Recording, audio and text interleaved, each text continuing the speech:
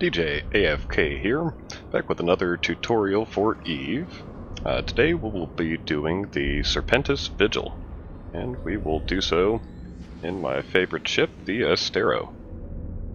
Uh, since this is against the Serpentis, we'll be using Hornets, which cause kinetic damage.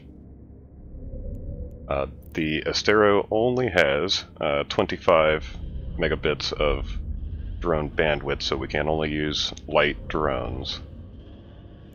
But we should be able to take these out pretty quickly. It looks like, uh, for the most part, it is frigates and battle cruisers, uh, a couple destroyers. I don't see anything very large. Uh, there, there are some tower sentries. Uh, those could take a minute to go down, but we will see how it goes. This is two pockets, and the first room has uh, initial defenders and two more spawns, uh, three more spawns.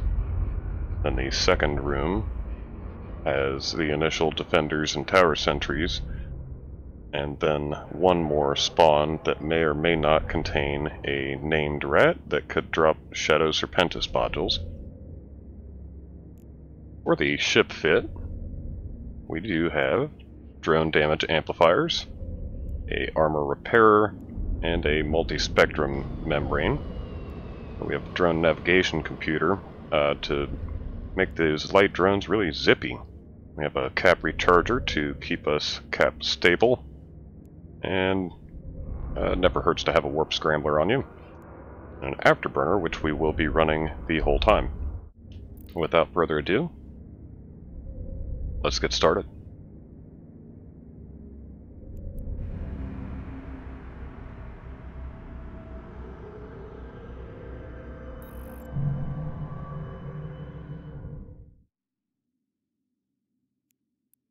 As we land on grid, it does look like there is a good number of ships near us. Let's go ahead and target them and send some drones out. We will destroy each type of ship with um, smallest to largest. Target.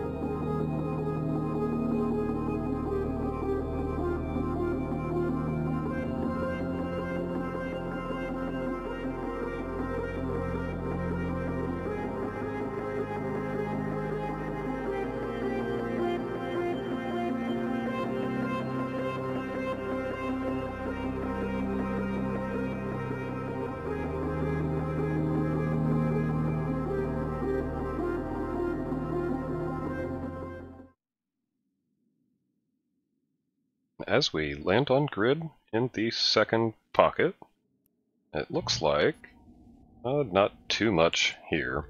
Uh, we will go ahead and take down the battle cruisers first as the tower sentries uh, trigger the commander wave.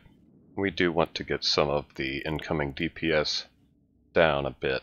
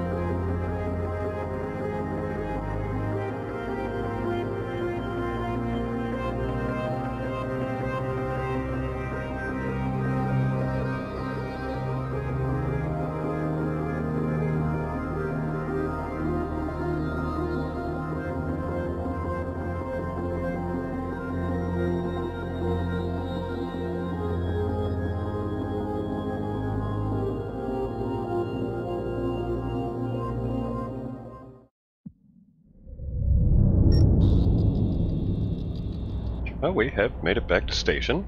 Uh, there wasn't much trouble in this uh, vigil at all. Uh, in the first pocket, we had all of the smaller ships were targeting us with uh, uh, dampeners, and that was making it incredibly difficult to target them to say which ships to shoot. Uh, we did have to make a really tight orbit to accomplish that, which increased the incoming DPS, but uh, not enough that the armor repair couldn't take care of it. Let's go ahead and look over the ship fit, and we we did get the escalation, so we can do an escalation video for booster R&D as well. But the important pieces of the ship were the drone damage amplifiers, the armor repair with uh, a little bit of energized membrane here, and the afterburner that we had turned on the entire time, as well as the cap recharger to make sure that we are cap stable.